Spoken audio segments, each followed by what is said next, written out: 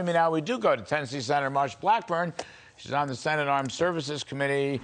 Um, Senator Blackburn, ma'am, you got to help me. You've got to stop this insanity of a new nuclear deal with Russia, which, among other things, is a reward of you know, they're, they're, negotiating with Russia, for heaven's sakes, in the middle of this Ukraine business. You got to stop it, ma'am. Yeah, you know, Larry, you have to think about this. Russia has invaded Ukraine.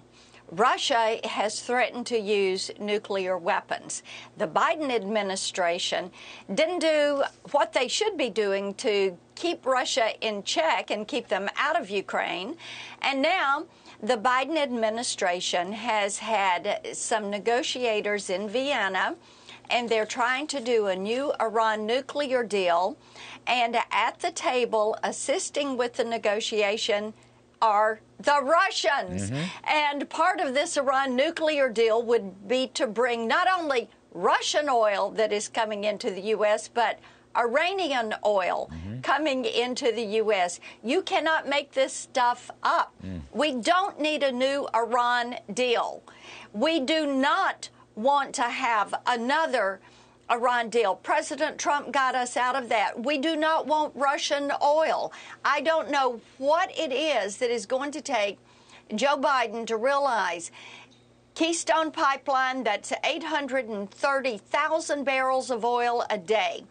Do it. Stop importing 670,000 barrels of oil a day. Mm-hmm. Make certain that what you are doing is strengthening our economy and getting inflation under control by going back to drilling on federal lands, having leases, uh, go back, open up Alaska, offshore drilling, go back to fracking. We are an energy driven economy, and right now, you do not have the volume of electric power generation that you need to support an energy-based economy.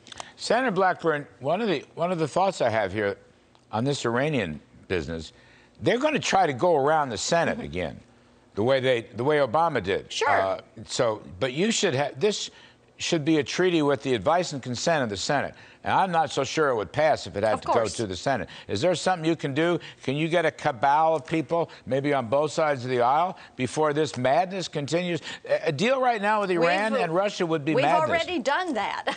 we've already done that. Tell us. Tell and us. have tell sent us. the message loud and clear that we do not want anything that is going to even resemble that old Iran nuclear deal. Iran is trying to get a shortcut to a nuclear weapon. We know that. We know that Russia, China, Iran, North Korea, that is your new axis of evil.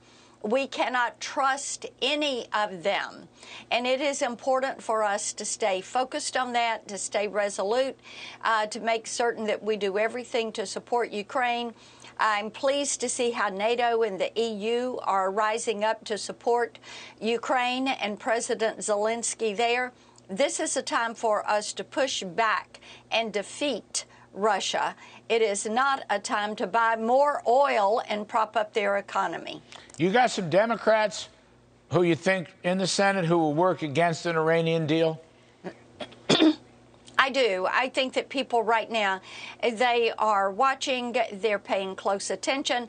I have legislation that would remove, um, it's the sense of the Senate to support the UN removing Russia from the UN Security Council. Ah, I have right, right, another right, piece of legislation, sense of the Senate, that would support removing Russia from the SWIFT banking system in its entirety so that they cannot process these transactions for selling fuel. And Larry, I think kind of the wild card in this, we're watching very closely to see how much China is actually going to support Russia as they move through this.